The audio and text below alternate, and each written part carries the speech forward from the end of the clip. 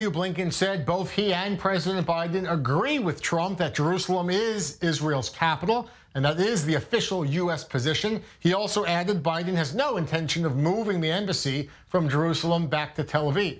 With us now is former Ambassador Yoram Ettinger. Uh, sir, thank you for being with me. Your reaction to Blinken's comments when it comes to the Golan Heights? Well, uh, Secretary of State Blinken ignores his most important, most important concern, which is America's interest. Israel on the Golan Heights serves, enhances America's interest. Israel on the Golan Heights constrains the maneuverability of the Iran's ayatollahs who are present in Syria. Israel on the Golan Heights constrains the maneuverability of Assad, who is a ruthless, terrorist, unpredictable uh, leader. And Israel on the Golan Heights also constrains the maneuverability of uh, Russia. Equally important, the Golan Heights is a trilateral border between Israel, Syria, and Jordan. Israel on the Golan Heights serves as a, the most critical defense line of the pro US Hashemite regime in Jordan. Instead of taking care of America's interests, the secretary talks about uh, international law and legalities and the future. This is a major, major mistake from the U.S. point of view. Sir, also about the, the concept in this particular case of international law, which Blinken alluded to.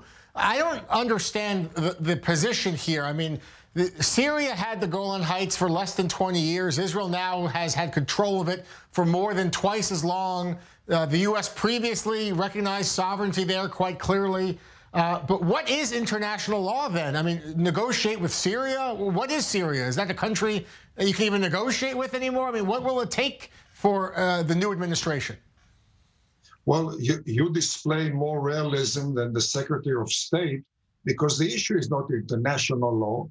Uh, the issue is whether Israel can afford to retreat from the Golan Heights in return for an agreement. The secretary is trying to apply uh, Western norms to the very non Western, uh, unpredictable, violent, ruthless uh, Middle East where accords are as temporary as the regimes that uh, conclude them.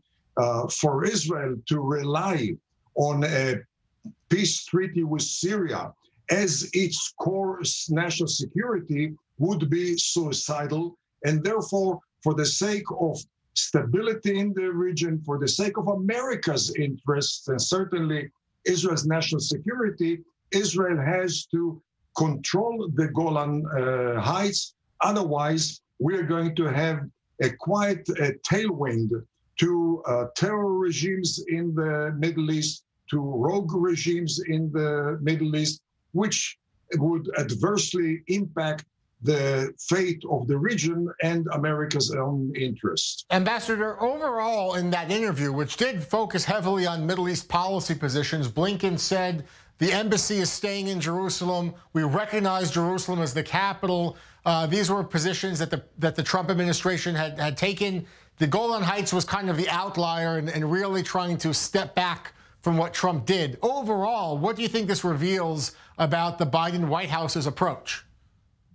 Well, we certainly have to uh, wait few more months, maybe a year, but uh, based on the fact that the key players, Secretary of State, the head, the director of the CIA, the Deputy Secretary of State, the National Security uh, Advisor, Director of National Intelligence are all veterans of the Obama Biden administration. One should conclude logically that they will try to implement the same Obama Biden uh, policy, which uh, sadly, sadly, took quite a severe toll in the uh, Middle East, undermining Middle East stability, most uh, notably uh, the uh, America-led military offensive against Gaddafi of Libya on the ground of Gaddafi's violation of human rights. Well,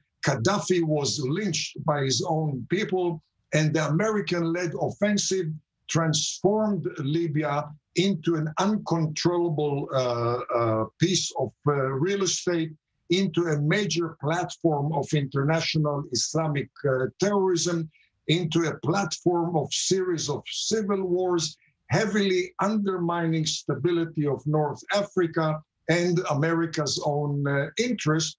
I hope that the current team will learn from its past mistakes uh, rather than repeating those mistakes. Sir, thank you so much for being with us. Appreciate your time. Thank you.